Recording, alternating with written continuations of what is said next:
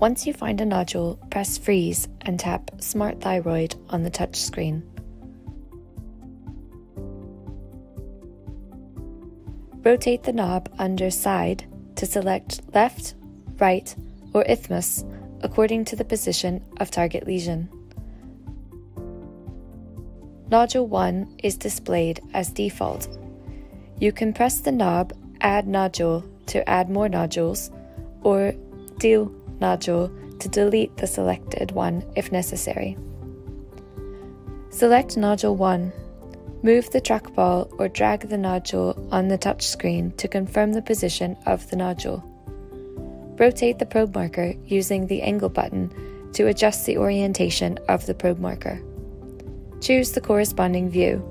Select Sagittal View from the touchscreen.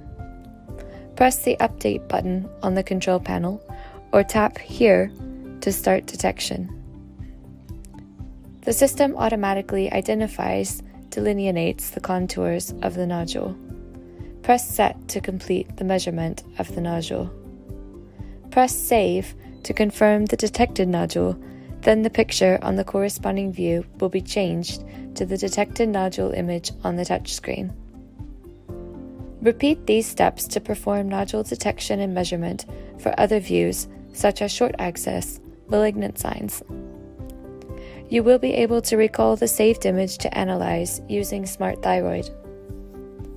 Choose the short axis view on the touchscreen, then adjust the probe marker. Press the Update button on the control panel or tap Here to start detection. The system will automatically identify the nodule.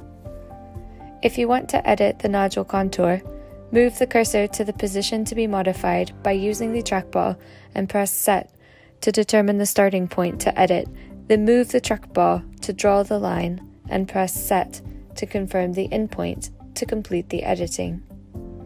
Press Set again to complete the measurement of the nodule. Press Save to confirm the detected nodule. If two or more nodules are detected, Press Update to select the desired nodule, which is then surrounded by a green rectangle, and press Set to confirm the selected nodule.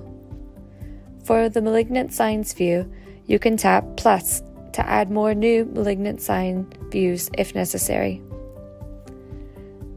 And just long press, and then the minus marker appears. Tap the minus marker to delete the added view. After all the steps for detected views, Choose Analyze Nodule on the touchscreen to enter the TIRAD classification. The system will make a comprehensive analysis on the detected views, show the TIRADS features automatically, composition, shape, echogenicity, margin, and echogenic foci. The touchscreen displays the specific description of corresponding features which can be modified as needed. Finally, select the TIRADS level then tap Confirm to save the analysis results.